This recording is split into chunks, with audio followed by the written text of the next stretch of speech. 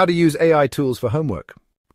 AI tools like ChatGPT and Grammarly are changing how students study, but can you use them without cheating? Absolutely, here's how.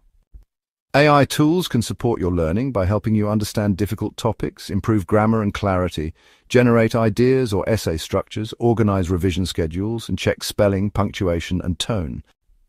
AI should never replace your thinking. Avoid using AI to write your entire essay, answer test questions directly, pretend someone else's AI answer is your own, or bypass research or analysis.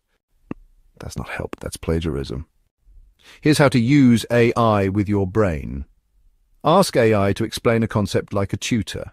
Use AI to turn your outline into full paragraphs, then revise yourself. Get feedback, not full answers. Always check facts and reword responses. Top tools for ethical homework help. ChatGPT for explanations and idea building, Grammarly for editing and grammar, Notion AI for planning and note summaries, Quillbot to paraphrase and check tone, Google Docs AI features built-in writing suggestions. Edu Tutoring UK tip, treat AI like a study buddy, not a ghostwriter. It should help you learn, not just finish.